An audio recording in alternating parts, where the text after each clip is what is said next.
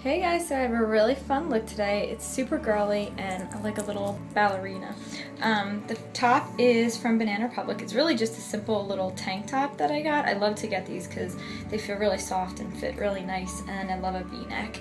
And I paired it with this skirt that you've seen before from French Connection. I'll get close. It has a nice metallic to it um, with like pink and blue, but it's really subtle so you don't notice it too much. But it is, look at this. It's so little swing skirt and it's high-waisted and I love that. And um, it's like right above the knee a little bit, but it looks like a little ballerina skirt when I walk around and I, I love that. I love all the cinching and everything on it. It's really cute skirt from French Connection. They have great skirts um, that fit really well.